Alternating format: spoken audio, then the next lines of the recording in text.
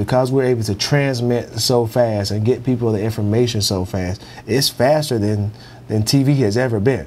Think about stuff is being published. You know, for most most um, consumers, a picture and a caption is a story. Whereas we're used to telling a story, all right, let's get all the facts, let's let's gather everything, let's get the who, what, when, why, where. Today's day, a picture and a caption posted to a Facebook page is a story. Ah. It is a story, and so it has certainly changed for for us.